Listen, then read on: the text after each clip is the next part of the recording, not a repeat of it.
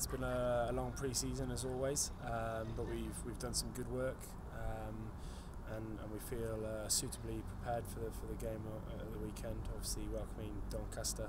Um, made the final last last year. Going to be a massive test for us. Um, so hopefully, um, you know, we can we can put into practice what we've been doing all pre-season. And how has pre-season been? There's been a quite a change in the coaching structure. Um, new culture.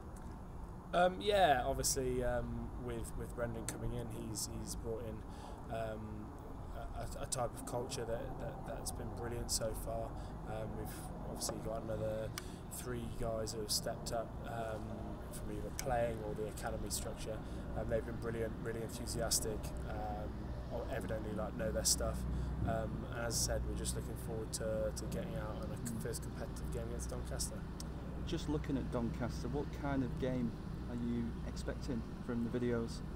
Oh, look, they're, they're a good rugby team. Um, they've got good rugby players. Um, they're obviously pretty physical. They're pretty abrasive, um, and I think it'll be a really good test for us um, first out.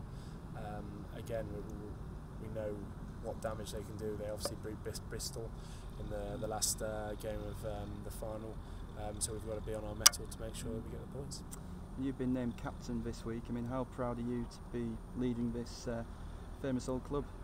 Yeah, it's, it's obviously a massive honour.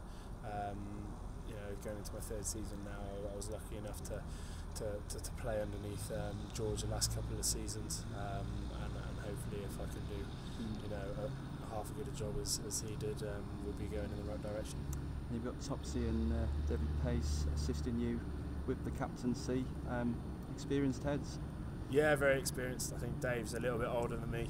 Um, Topsy's a little bit younger, but they've both played, you know, loads and loads of games. Topsy played his 250th last year.